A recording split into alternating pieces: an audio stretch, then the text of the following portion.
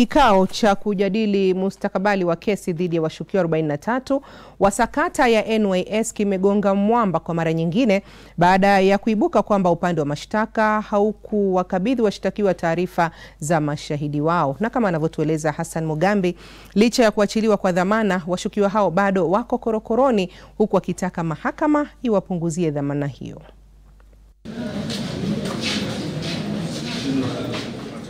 Licha ya kuachiliwa kwa dhamana hiyo jana, walifika mahakamani kutoka kwenye seli za mahakama ya Milimani huku wakiwa wamefungwa pingu.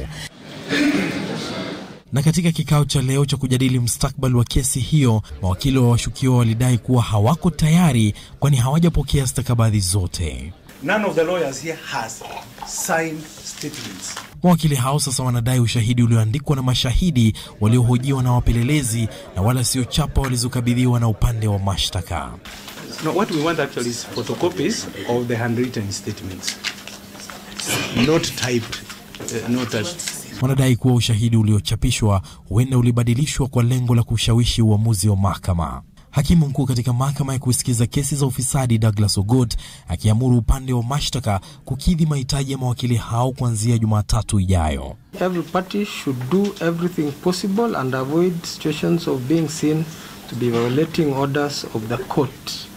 Huku kifungo cha chini zaidi kikiwa cha miaka kumi gerezani iwapo watapatikana na hatia. Mawakili wao waliomba muda zaidi kuzidisha nguvu ya hoja zao na kupitia ushahidi dhidi yao. This is therefore a serious matter.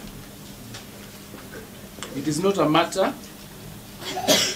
that the state needs to take for granted. Huenda washukiwa hao wakasubiri muda zaidi, ikizingatiwa kuwa dhamana walizowasilisha lazima zithibitishwe na asasi husika kabla ya kukubalika. Hugot akishikilia kuwa atawasikiza tu baada ya kuanza kwa kesi hii. Kikao kama cha leo kimepangwa kufanyika tena tarehe 17 Julai.